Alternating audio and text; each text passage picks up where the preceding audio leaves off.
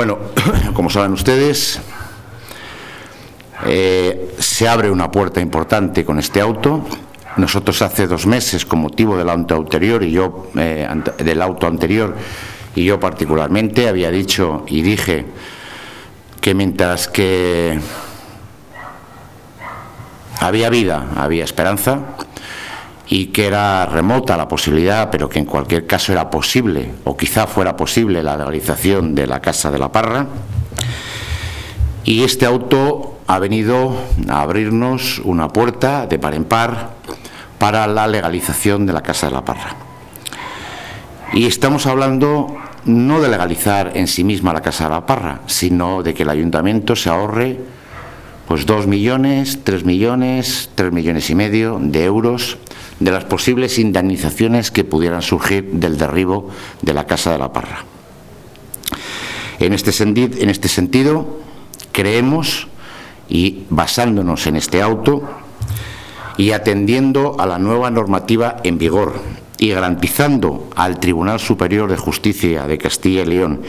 que hay una clara voluntad de legalizar el edificio y los garajes y no dejar transcurrir el tiempo y de presentar en un plazo urgente el correspondiente expediente de legalización de todo el edificio y los garajes con el debido rigor y extensión, como así se indica en el auto eh, indicado, podremos o intentaremos solucionar de una vez por todas un problema que dura ya casi dos décadas. Con lo cual, nuestro objetivo es en el Pleno,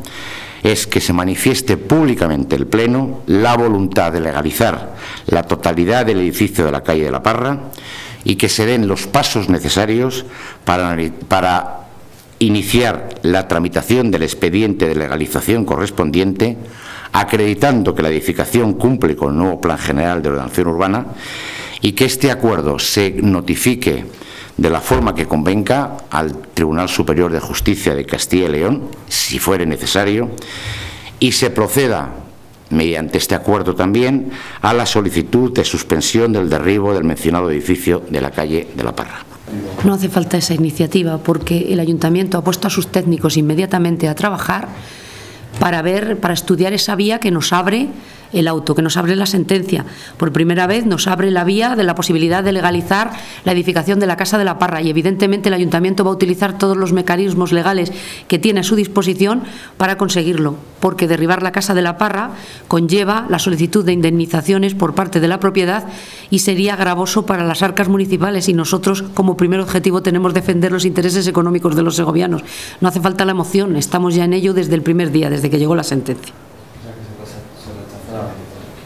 Pues no lo sé lo que, lo que, pero no tiene sentido porque está en marcha. Que no. A ver, Izquierda Unida ha sido siempre transparente en este sentido. Ha dicho cuáles son sus puntos en la mesa de negociación del PEAIS, ha dicho desde el primer momento cuáles son los puntos que ella defiende ¿no? en el PEAIS. Mm, es verdad que ellos, eh, para la aprobación del PEAIS, mm, han puesto como condición, y lo han dicho públicamente, la, el hecho de que se derribe la Casa de la Parra, pero ahora mismo la tesitura es muy distinta porque el ayuntamiento, eh, digo el ayuntamiento, perdón, el equipo de gobierno municipal con el voto de calidad de la alcaldesa puede perfectamente aprobar el PEAIS, sin necesidad de otra fuerza política. Con lo cual estamos dispuestos a aprobarlo si es necesario así